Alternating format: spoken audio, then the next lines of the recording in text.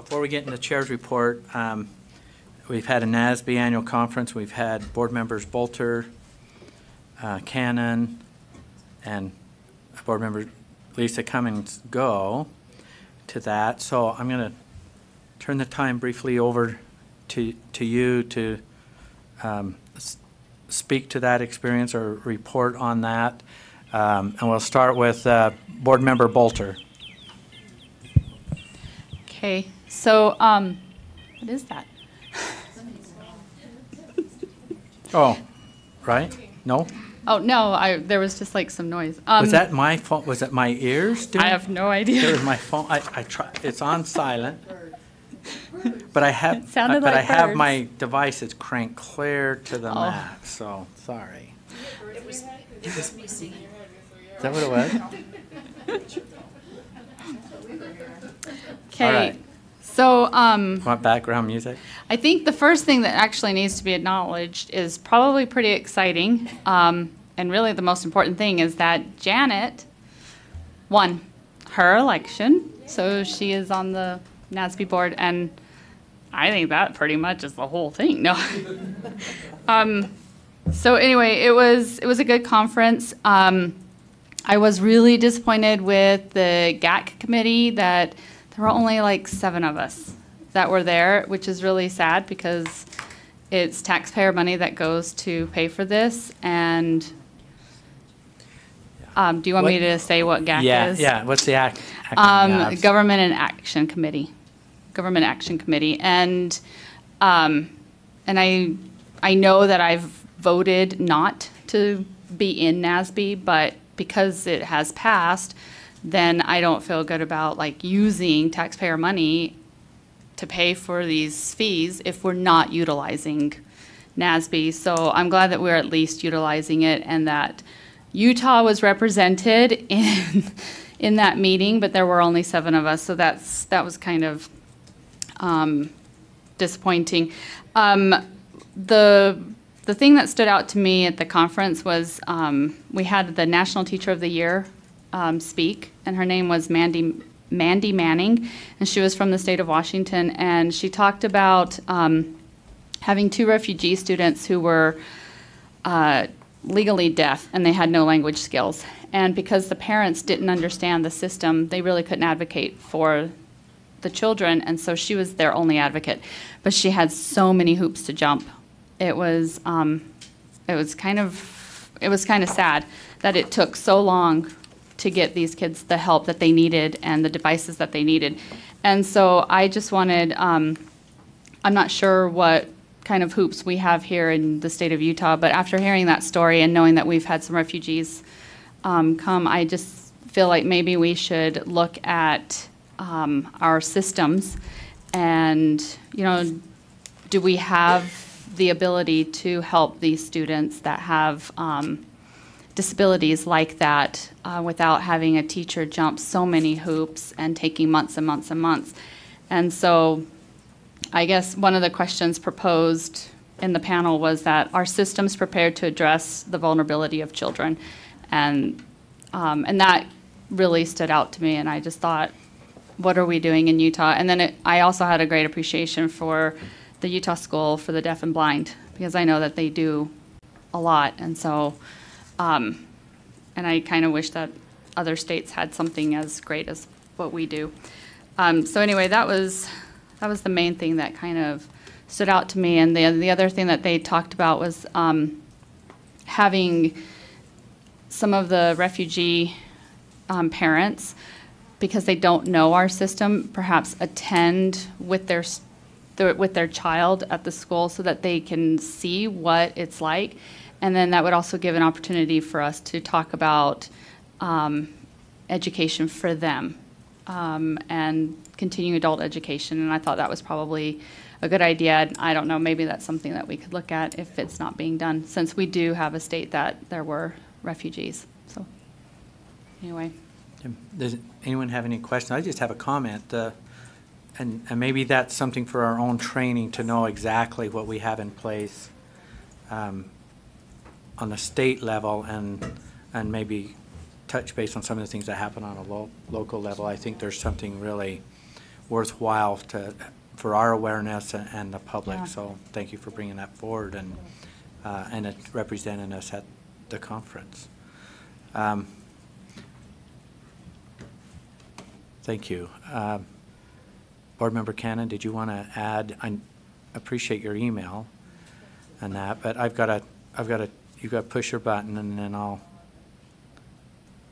there we go, thank you. Well, thank you for the opportunity that we had to go. We had, I had a lot of fun being with Michelle and Lisa, our little Utah cadre, and uh, I think we learned some new things and gained some valuable information. Um, One of the things I learned is that uh, this is something new is that NASB has two sister organizations. One is called NIXB, which is State Board of Education Secretaries, and the other is called NCOSEA, which is State Board of Education Attorneys.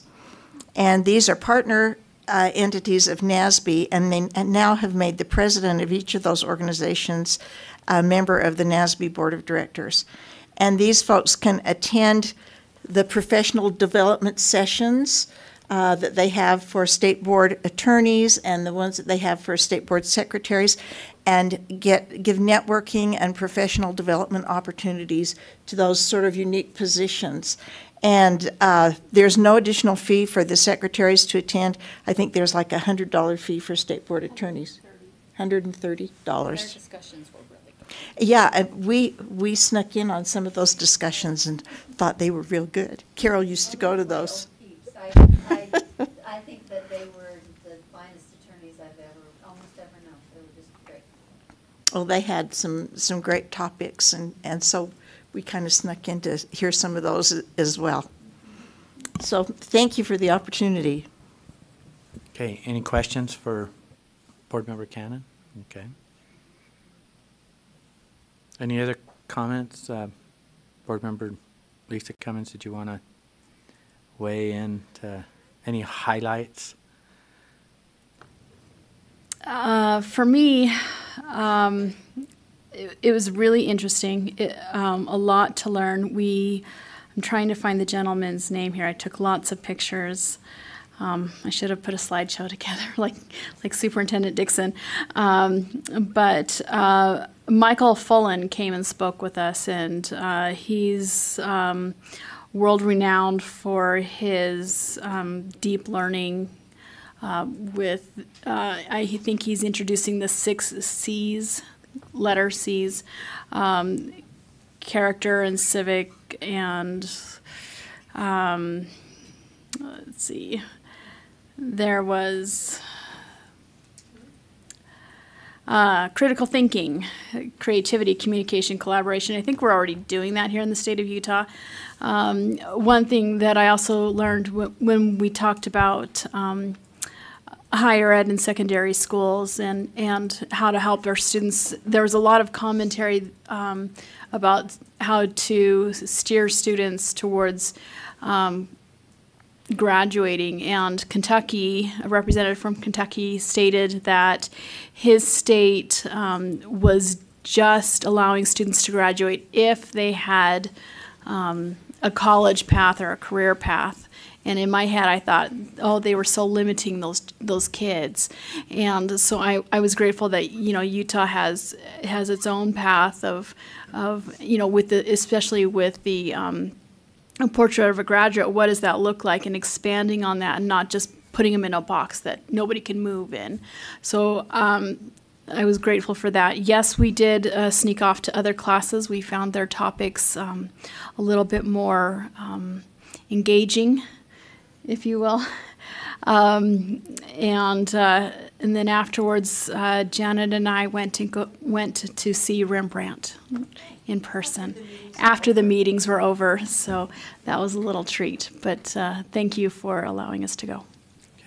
Um, Thank you for representing us. It's, it's, I'm, I'm sure on, on the national side of things that, that they appreciate the group that went out from, from Utah. And it's, it's hard to, as, as you go and you, you come back with little nuggets of knowledge and all of that, but at the same time, people are learning from you, and you'll never know what, what it is until you circle back somehow and, and, um, and meet with those people. That's been my experience on, on serving on committees. I'm sure that the, the people benefited from uh, Utah folks being there, so thank you for that sacrifice and willing to go.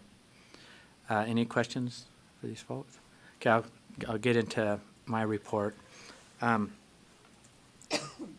uh, First of all, I want to recognize and thank uh, um, Vice Chair Brittany Cummins. I, I had a couple rough weeks uh, in the workplace, losing one of my shareholders at age 38 and dealing with uh, their family and clients and, and that. And, and so thank you, Brittany, for filling in and hitting those assignments and, and staff for doing that, um, taking care of that. I want to thank you guys for the good work you're doing. You're serving on many committees, you're everywhere, and you're around, and you're being noticed and um, being recognized. So I appreciate your service on that. It, it's a lot of work, and um, but it is appreciated out in our community. We're gearing up for a few things with the, the legislature, and there, of course, these interim meetings are are starting up, and people are posturing, positioning. But um, as we reflect back on this past year, we have December's our next board meeting, and you know there'll be quite a bit of heavy lifting happening. But a, a lot of good betterments have come from this board this year, and they're being recognized by the education community and parents, and and that it's you know not, not everything's perfect, but we try to do things just a, a little better every opportunity we have up to, to to bat. And within our committees and within our organization, there's something really important, and I think baseball brings this out, and that's designated hitters. And so many of us cover for each other, whether we have an assignment or not, or out for a rescue. And and you guys, you guys do it. My ears are still ringing. I have this on quiet. Can you hear it? Does it jump out here? Oh. Um, good. And so you guys are really good designated hitters. So for each other. So thank you um, for that. As we have been preparing, preparing for budgets and that, school year's up and started, and we're, what are we, month of, of uh, November. The staff here, I'm, I'm not, I'm not hearing a lot of, of rumblings. You know, education's happening.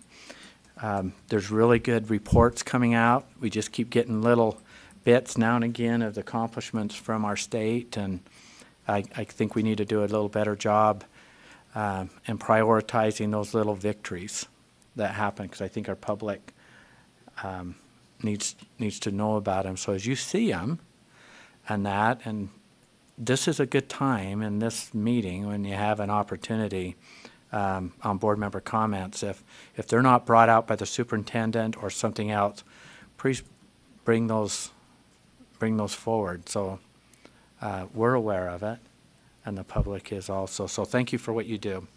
Um, you guys have any questions for me? Not seeing any. We'll